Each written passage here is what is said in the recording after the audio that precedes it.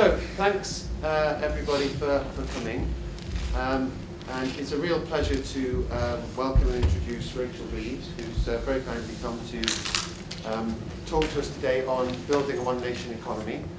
And this is the last event of this year's Festival of Politics and Applied Ethics, so I think it's a really good way to, to finish it off. Uh, Rachel is uh, a lifelong, I'll say a few things about Rachel and then uh, introduce her to speak. Um, Rachel's a lifelong member of the Labour Party. She joined in when she was 16.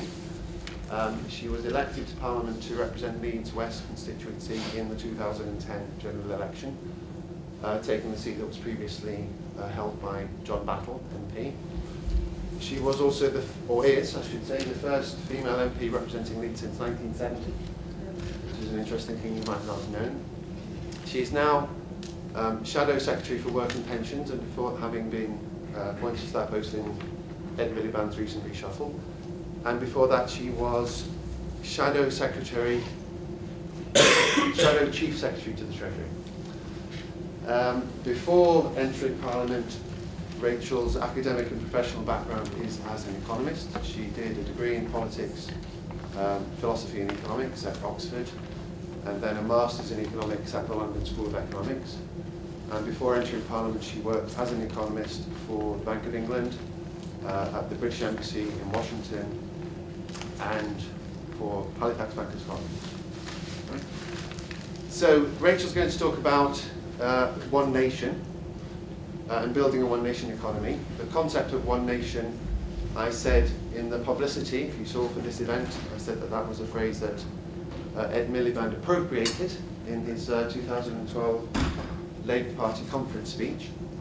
And uh, those of you who are students of politics will know that uh, what I'm referring to there is that the notion of one nation is something we very much associate with the conservative tradition from the 19th century, particularly um, Disraeli uh, from 1845 in his book Sybil, which talks about the two nations and so on. Um, but it's fair to say, and uh, since 2012, Rachel has co-edited a book uh, with Owen Smith on One Nation, which you can download from the Labour Party website if you want to, or, or buy a hard copy. Uh, so it's obviously a key theme of uh, Labour politics now going forward to the next general election. Um, Ed Miliband in the preface to the book says it's not a Conservative idea or a Labour idea, it's a, it's a British idea, and of course it's true that uh, in the history of the Labour Party, the concept of the nation and national interest has always been part of the language of the Labour Party, as well as uh, ideas about class and, and working people's interests and so on. Of course, that's always been a controversial idea, particularly those on the left of the party, both inside it and outside of it, have often criticised that kind of language of the nation and national interest, uh, particularly on the grounds that it obscures or conceals the kind of divided nature of society, uh, along particularly on class line, class lines. So one of the critics who, take that, who took that kind of approach, of course, was Ralph Miliband, uh, Ed Miliband's father, who was, of course, recently so ignorantly attacked by the Daily Mail, that he represents that, or represented that kind of left-wing critique of Labour, which, which, if he were here today, I'm sure would, would be saying that the concept of the na national interest is, is quite problematic. Anyway, we're here today to learn about how uh, One Nation, the concept of One Nation, features in Labour Party politics today, and Rachel's going to very kindly talk to us about building a One Nation economy. So I'm, I'm sure you'll all join me in welcoming Rachel.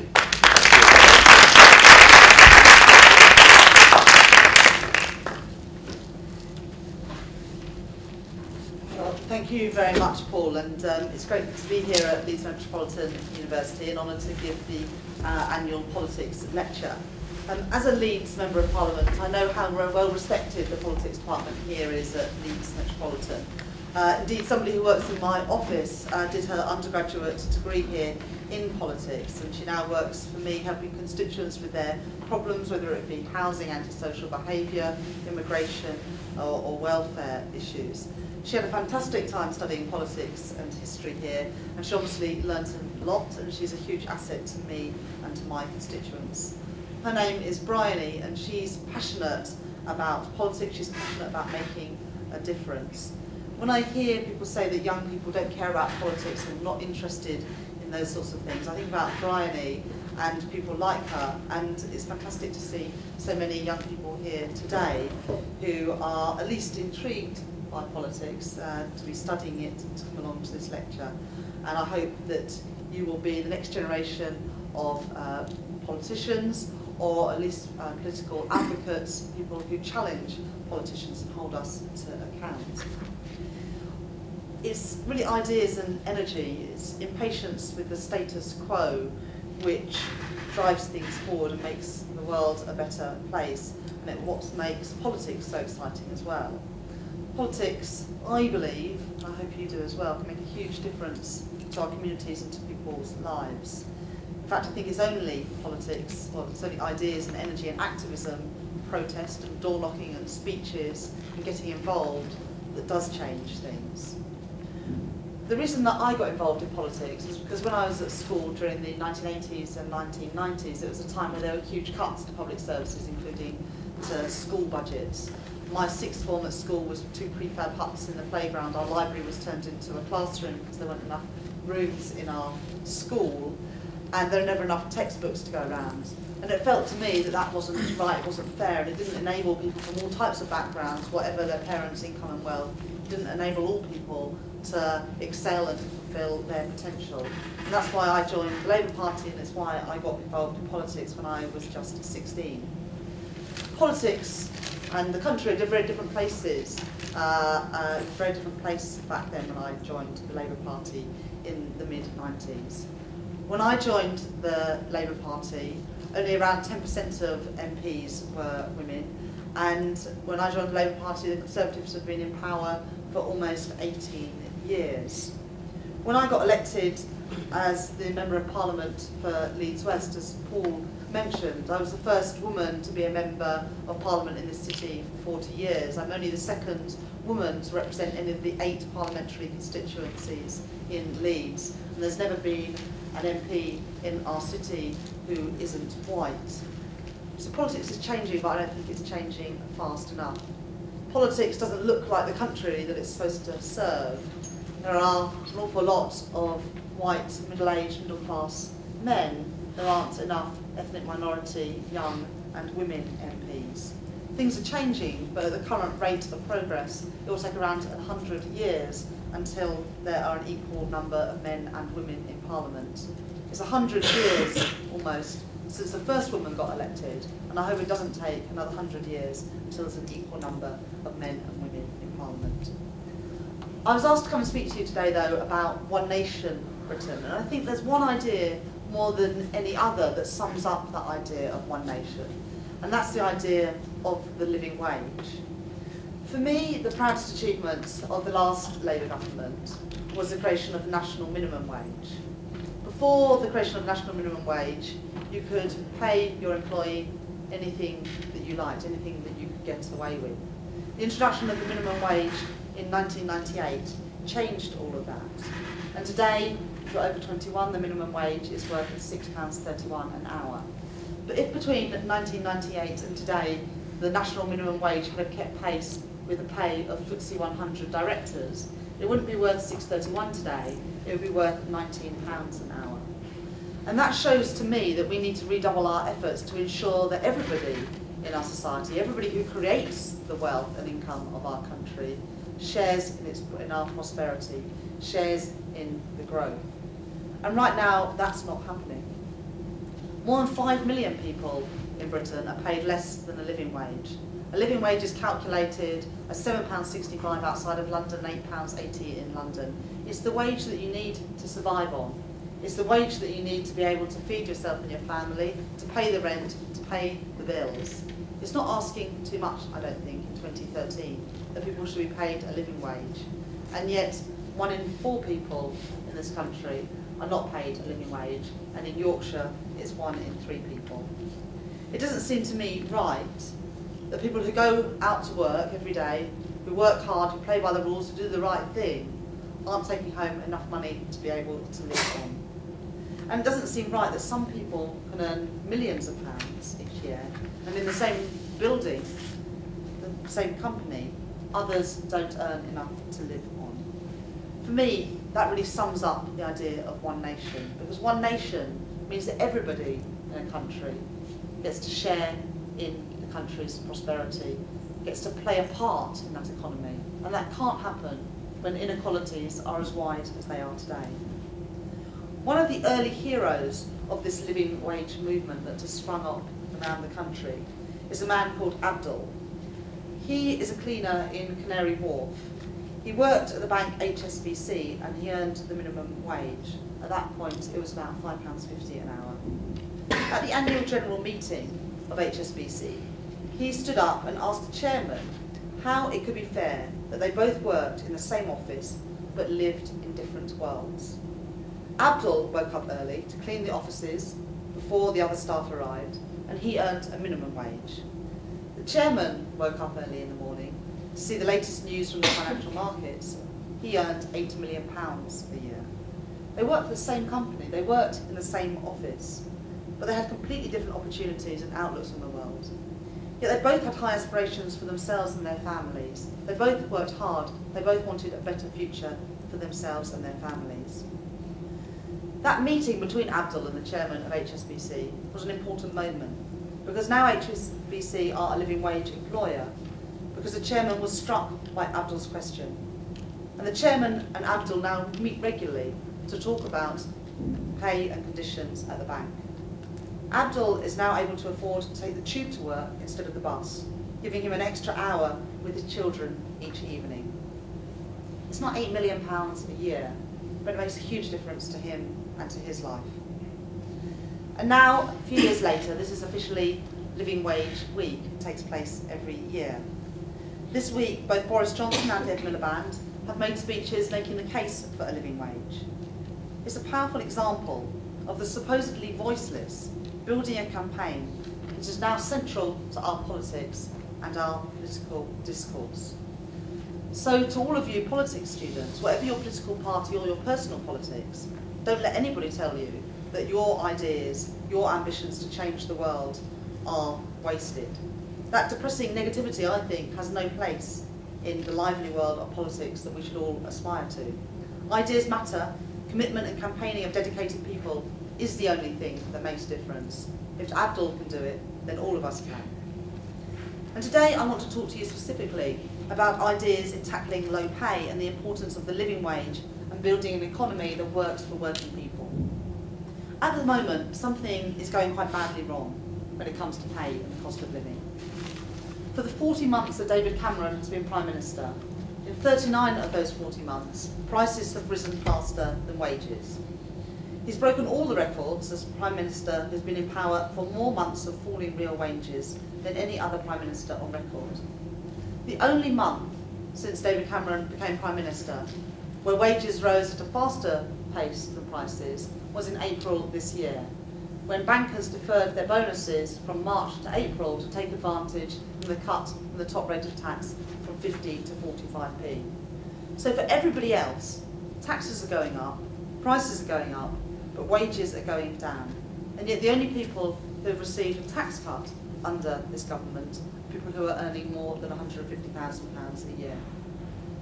In fact, the value of the national minimum wage in the last three and a half years has fallen by 5%. That's the reality of the unfair and unbalanced economy that we have. There are approximately 375,000 workers in Yorkshire who are paid less than £7.65 an hour, which as I said represents a third of the workforce.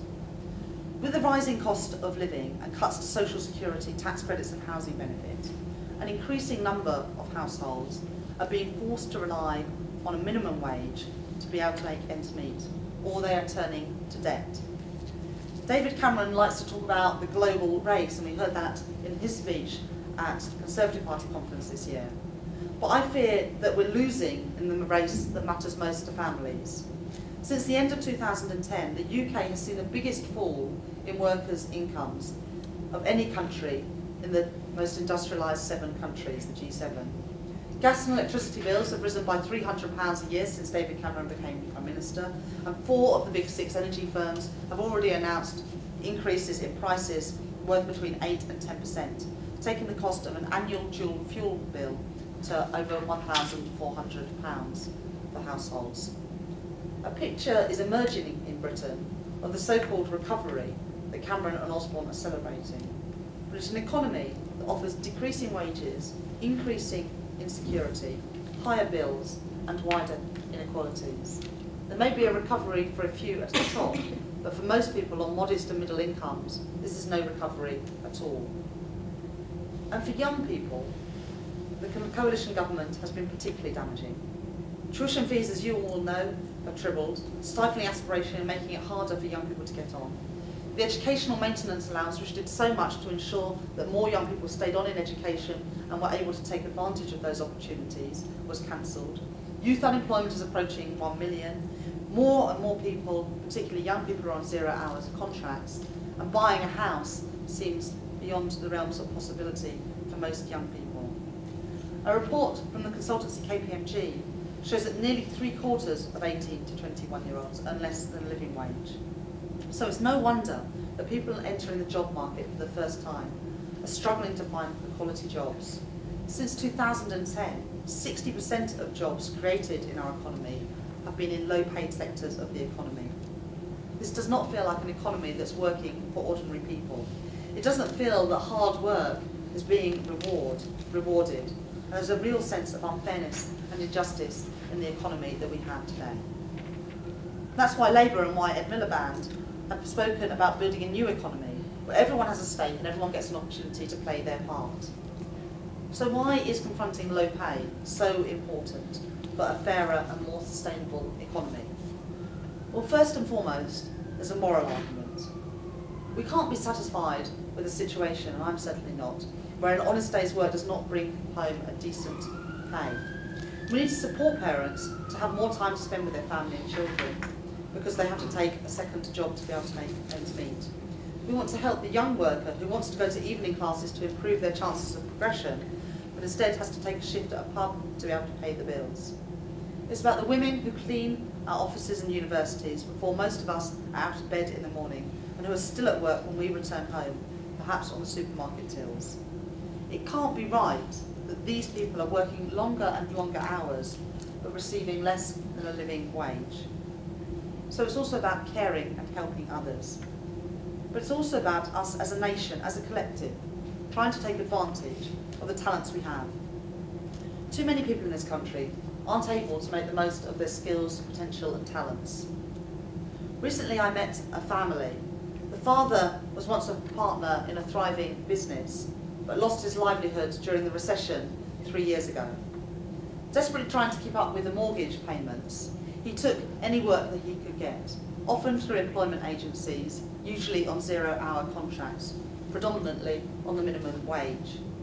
His wife abandoned her dream of training to be a primary school teacher so that she could stay in her job, which was relatively secure but modestly paid, working in a shop.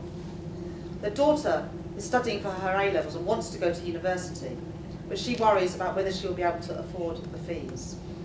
What a waste. What a waste of talent. Because we need an economy that takes advantage of these people's skills, makes the most of their skills and their talents, and that does not stifle ambition. I believe that it's only the Labour Party that has the ideas and the vision to ensure that families in this situation are given a fair chance. One example that's been much in the news recently has been around energy prices. And earlier today, I was out in Pudsey in West Leeds doing a petition to freeze energy bills, and earlier this week I voted in the, um, in the debate in Parliament to freeze energy bills for 18 months. Ed Miliband has said that on entering Downing Street, the Labour Party will freeze energy prices for 18 months. He will act as Prime Minister by taking action against the energy companies who are ruthlessly increasing the bills whilst earning vast profits.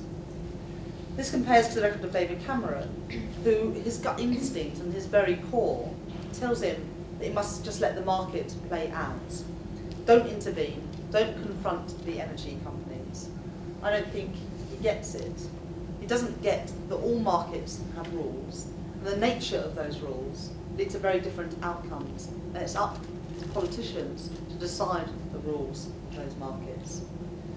But we also need to tackle the other side of the equation, The cost of living is about the prices of everything. It's about the cost of rent, it's about the cost of the gas and electricity bills, it's about the cost of the weekly shop. But it's also about pay.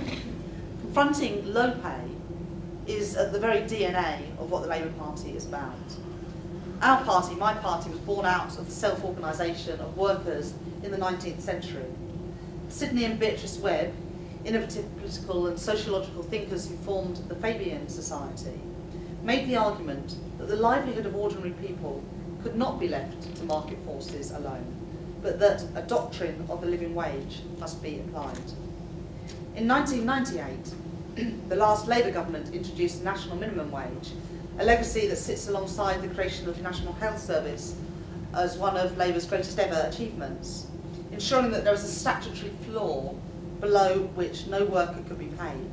It raised the pay of millions, it reduced income inequality, and it helped narrow the gap in earnings between men and women. When Labour introduced the minimum wage, the Conservative Party said that it would create 3 million unemployed. They were wrong today, they were wrong then, and they are wrong today when they oppose the living wage. However, whilst it is critical to have a statutory wage floor, we must go further. The living wage, as I was already touched upon, exemplifies the spirit of a one nation economy that Labour are attempting to build. There was an idea born in East London by community organisers, but it's slowly, surely built dialogues and coalitions with employers, employees, faith groups and others across the country. It's a modest ask. It's asking that people get paid 7.65 an hour outside of London and £8.80 in London. Last year at Labour Party conference, I met one woman who had benefited from the living wage. Her name was Fran and she worked at a college in Manchester.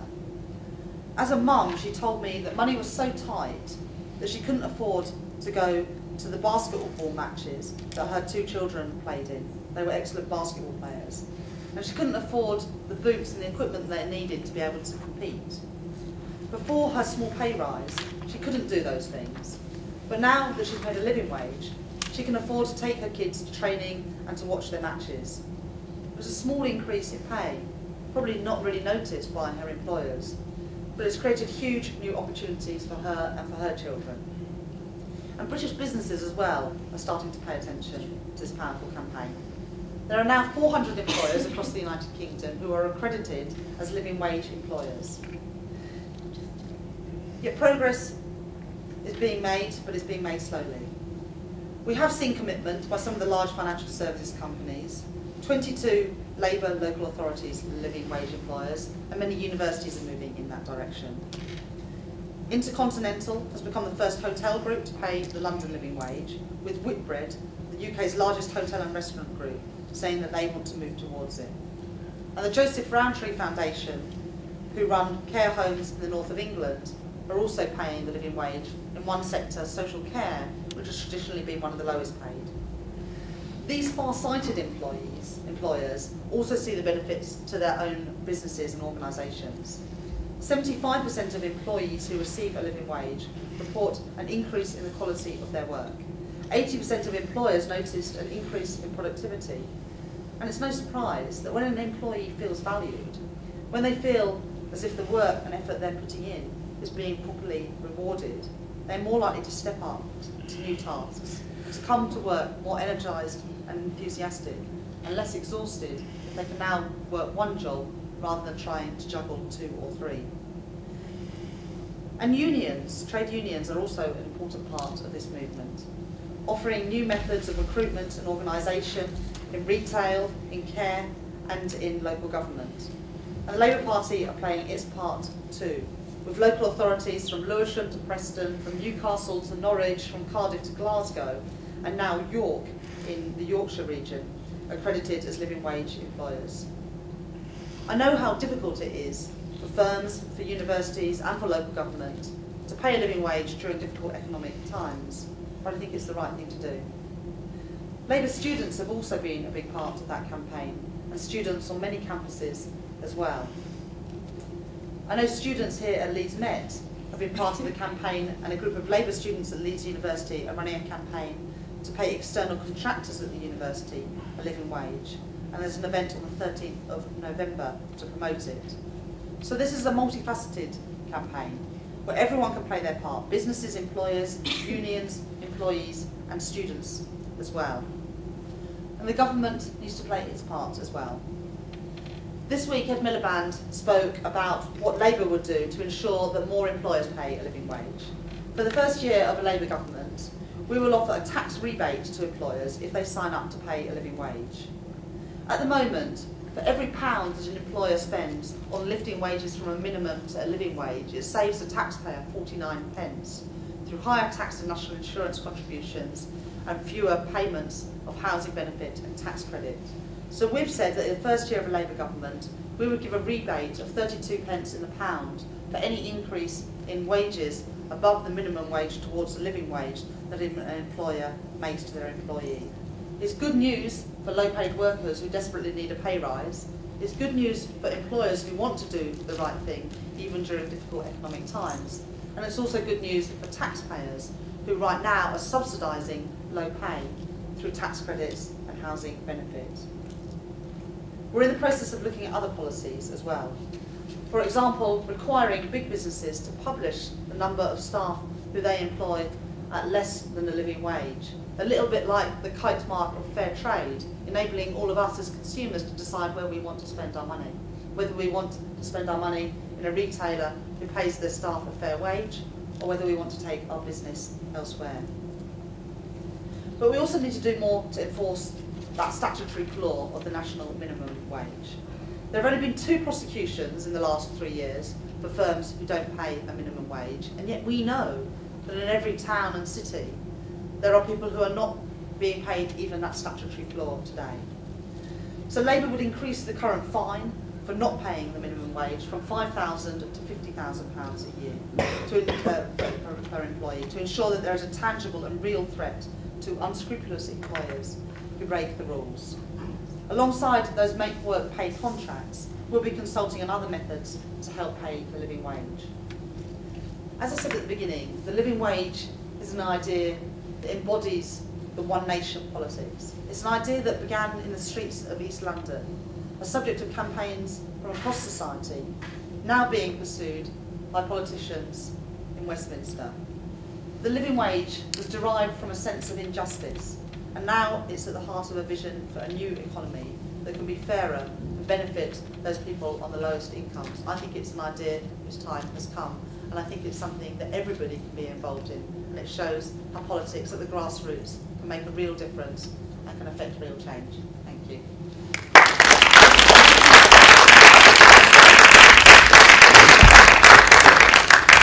Thank you very much.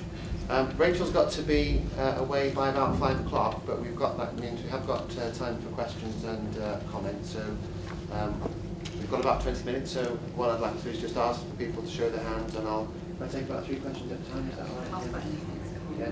And you can ask about anything, Rachel said, so it doesn't have to be about what she's just spoken about. I don't know if you mean that literally, anything. okay, so yeah, Alex at the back, and then here. So we'll start with you. Um, you spoke about tuition fees. Um, does the Labour Party really have a credibility on the issue as they introduce tuition fees in the first place?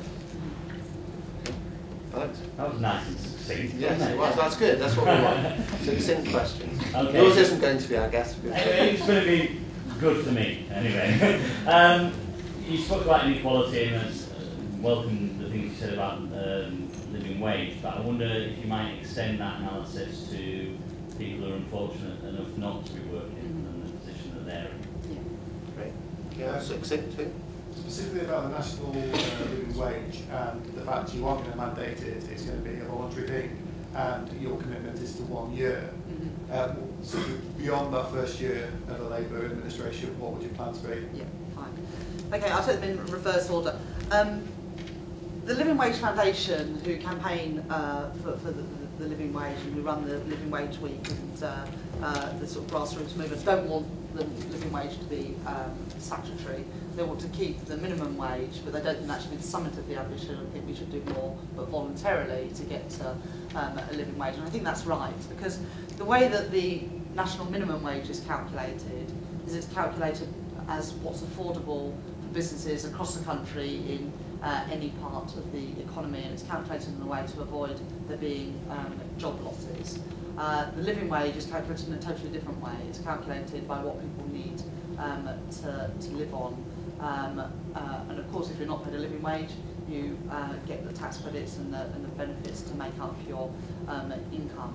I don't think we could move overnight to having a, um, a statutory minimum wage of £7.65. I think it would create uh, job losses, particularly at the moment when the economy um, is weak.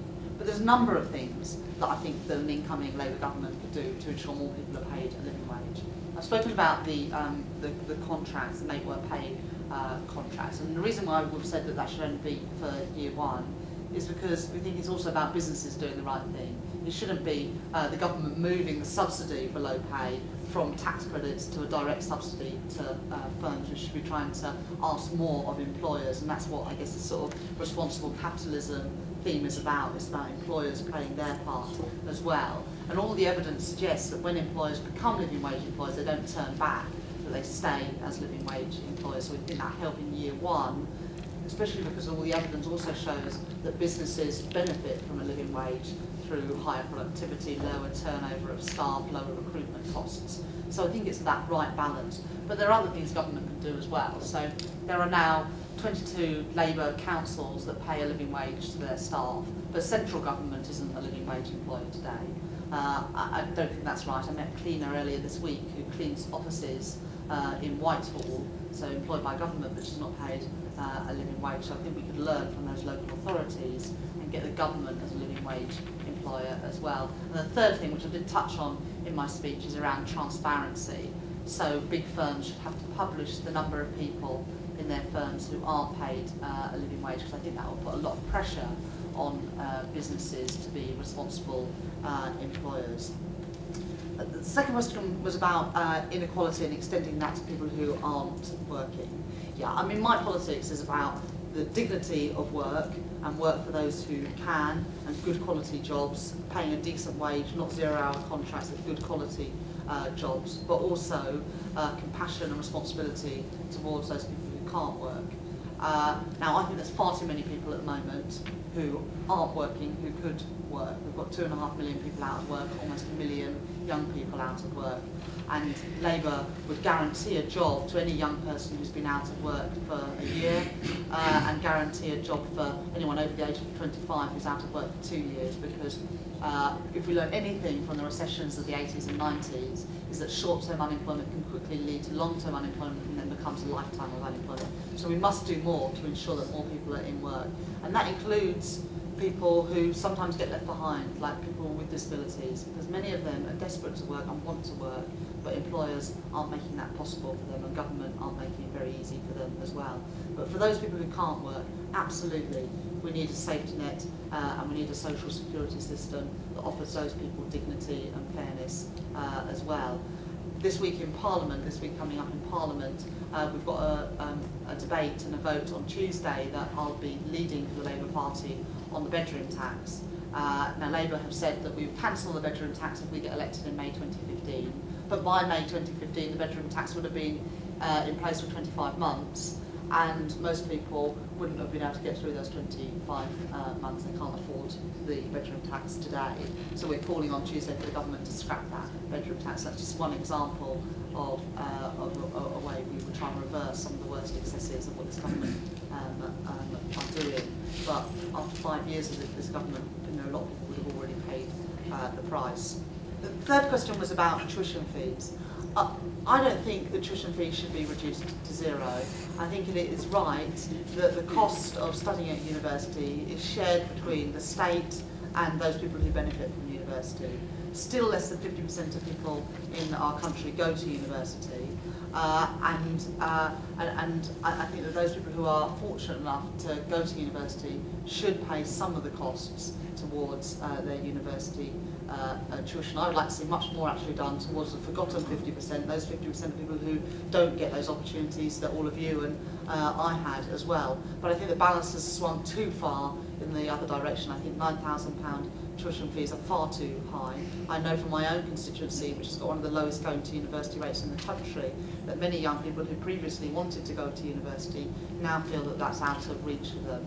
And many others who wanted to go to university away from home are now going to the local university, which might not be a, bad thing, but you are closing down the opportunities to people from lower income backgrounds in a way that those opportunities not being closed down people in higher incomes whose parents can afford to pay you know, £9,000 and all the other costs associated with university tuition um, up front. So I wouldn't go back to um, you know, zero uh, fees. I think that the Labour government were right to share those costs of university tuition.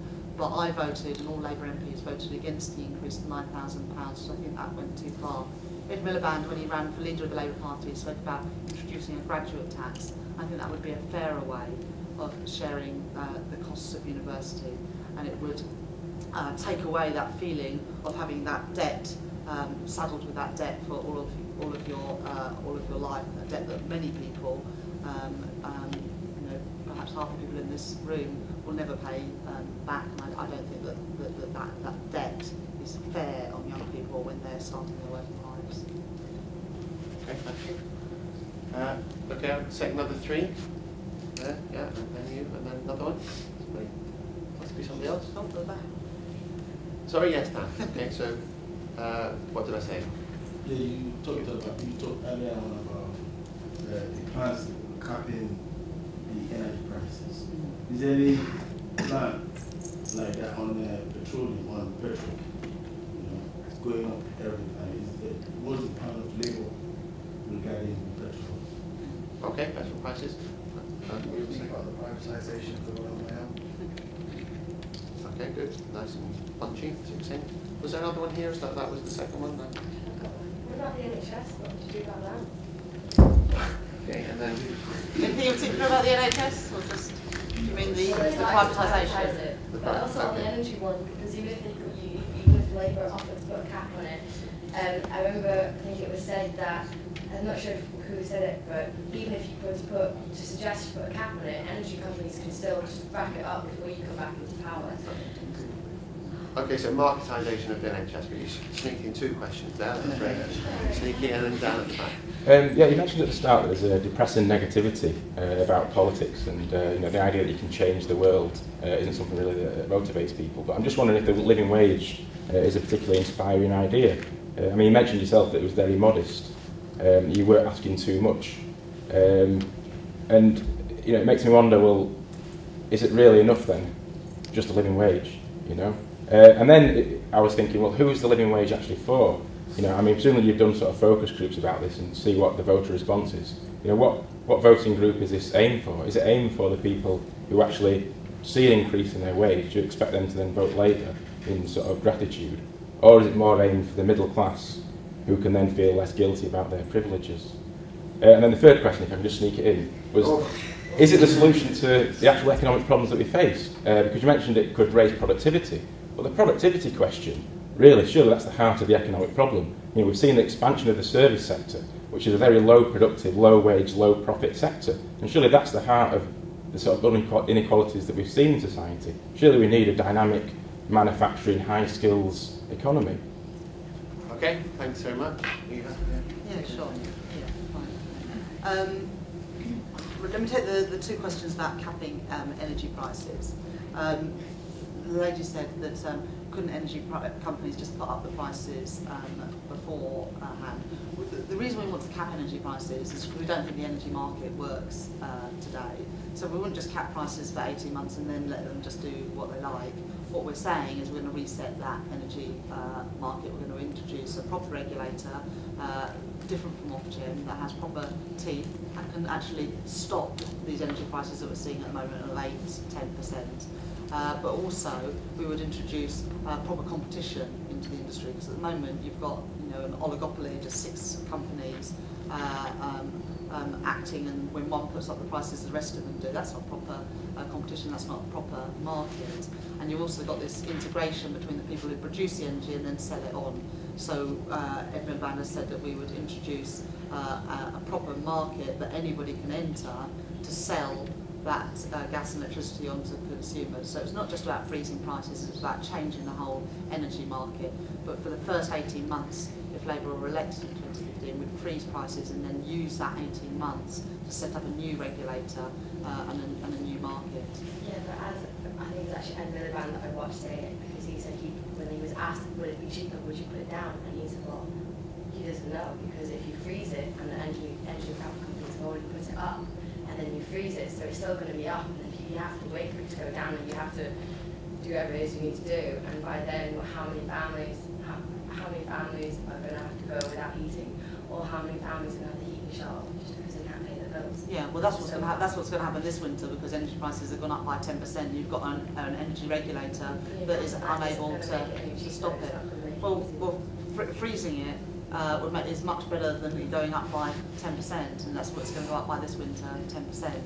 Uh, freezing energy prices uh, would make a difference uh, uh, by the tune of probably about 120 pounds uh, a year, which if you're on a low income will make a huge difference. But we're not happy with just freezing prices. We want a market that works properly with a regulator who stops these price increases that you've spoken about uh, happening in the future. So it's a two-pronged approach. It's about freezing the short um, term, the prices never come down um, under these energy companies. About freezing the short term and then getting a proper energy regulator who will stop the uh, the profiteering and the uh, and the oligopoly that we've got um, um, at the moment.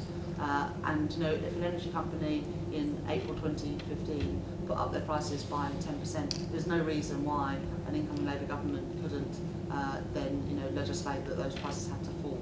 Um, but what we're saying is that we freeze those energy uh, prices and then reset uh, the market to make it fairer for uh, consumers. Uh, the, the second part of the question on energy prices was petrol. Uh, and you know, you're right that petrol prices uh, have also been going up, and it's another one of those markets which I don't think um, works very well. Uh, it didn't help when the government increased VAT from 17.5 to 20% because obviously VAT is applied on uh, petrol prices, and that put I think three pence on the litre uh, of, of, of petrol. But I also think we need to do more to invest. Actually, back to the other question as well, we need to do more to invest in uh, in renewable sources of energy, and need to do more to uh, improve public transport infrastructure. Uh, because at the end of the day, the world does have finite resources of uh, fossil fuels, and unless we uh, diversify and use uh, solar and wind power, uh, unless we get more people using buses and trains rather than using their cars uh, all the time, then we'll just get prices will go up uh, further.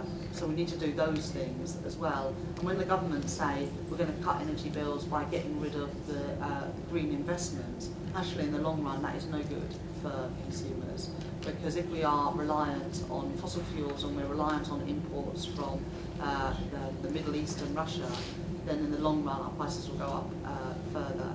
So yes, you can do something to tackle the short run prices, but I think also you need to change the market. It actually links to the other question as well about what sort of economy do we want. Uh, because I think after the financial crisis, we do need to think about uh, a better balanced economy that's less reliant on financial services and London and the South East and has jobs in a wider range of sectors across the whole country, including in manufacturing, uh, pharmaceuticals, creative industries, where UK has huge strengths, but strengths that have been neglected. But that said, you know, there are very high skilled service sector jobs as well, and we shouldn't think that all service sector uh, jobs are low productivity uh, jobs. They're not. Uh, uh, you know, in some service sector uh, industries, we are world leaders, and even in financial services, which obviously gets quite a hard time at the moment, uh, in insurance and, and, and, other industries, we are global leaders, and we shouldn't neglect strengths, including in leads that we have um, in those. On productivity, I, do think that the living wage and all the evidence from the firms that have implemented um, improves productivity. But the real reason that I don't think wages have gone up is not because workers aren't productive enough. I think the real weak reason wages haven't gone up is that the bargaining power of workers is so weak and the, uh, and the bosses take all of the, um, all the benefits with big pay increases for themselves. I mean, does anyone really think that bosses' productivity has gone up by 50% in the last three years? I don't. And yet that's what their wages have gone up. whilst people on low incomes haven't seen any increase in wages at all. So I actually don't think that the low pay argument is um, primarily a productivity uh, argument. Uh, I think it's an argument about uh, uh, an economy that just isn't working for ordinary people, whether they be consumers of gas and electricity or whether they'd be workers on modest and middle incomes. On the privatisation of the Royal Mail, I, I, I opposed it in, in Parliament. I've campaigned in my constituency uh, uh, um, for the government to rethink. I think the Royal Mail should remain in, in state uh, hands. I think uh, it's, uh, it's uh, an institution that, you know, like the NHS in some ways, that uh, people feel real affinity to and want it to be owned uh, um, in, the, in the public uh, domain rather than for private profit.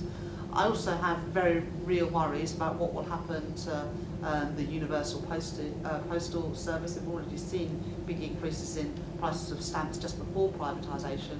Uh, I expect that that will continue and I also expect to see a fragmentation of, uh, of that universal service that exists at the moment. I also think it's criminal that they've sold it off so cheaply when they didn't even get the value for taxpayers uh, that they should have done. So if you are going to privatise it, at least privatise it well and make sure that you bring in money to invest in other public services, which is what they've failed um, to do.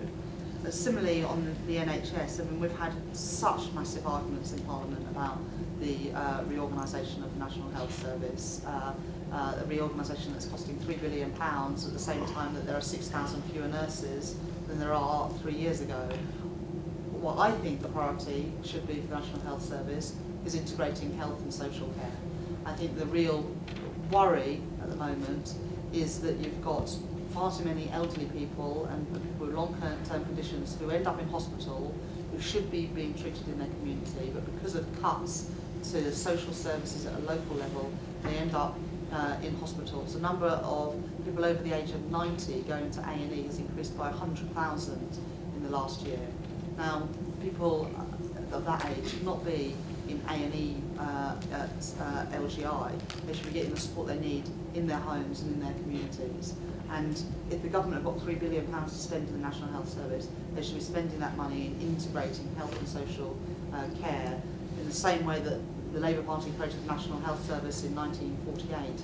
We should be today creating a national care service uh, of the same level of, of ambition to support people uh, when they're most vulnerable. And would you leave the reforms in place in terms of opening? No, I mean, we've said that we would repeal the Health and Social Right. Care Bill uh, if we're um, elected in 2015.